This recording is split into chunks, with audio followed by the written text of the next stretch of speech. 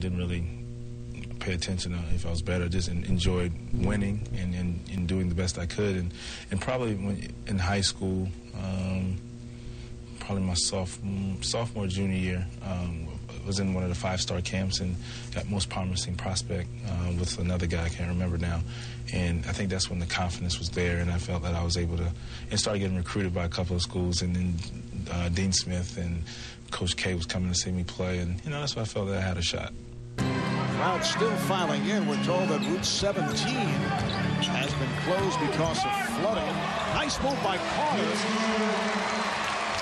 At the five-minute mark, he wants to get Kidd off the floor to set up his strategy for the second quarter. Carter, yes. As you say, he's been getting good looks. Hurt. Certainly going to run to the concession yes. stand. Here's Jefferson giving it up. So Kidd is back along with Carter. Carter for three. So that ends the 10-0 run by Utah. Two fouls really didn't want to challenge at that particular point. Harpring really just a catch, look over his shoulder, and then attack. Here's Kidd for three. Nice recognition again. Poked it away. Carter off the dribble. Here's Carter. Carter with the rebound. And it's an offensive. No, they say the basket counts. It's a goaltend. Now that first trip to the basket, actually, Vince lost control of the basketball because I think he was going to try to attempt to go after it. That's a good call. Kirilenko with the left-hand side also. Now Carter, yes, on a post-up, got the step, but could not finish. Carter with the rebound and score. Right, once again, Vince squeezing one on the first trip. Up short on the tip, Williams on it. Here's Williams going to the left hand. Williams with the feed. Oh, he just ran over Vince Carter at the end of that play. So it's an offensive foul. Deron Williams could not put the brakes on. Good idea, but he's called for the foul. And important for Vince to make sure that he's the line.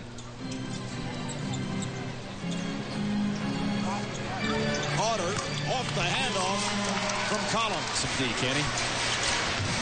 Now Giricek try to pound it away from Collins. Uh-oh. Carter from Collins. And a foul. It counts. And Carter comes up hobbling. Beautiful pass by Collins.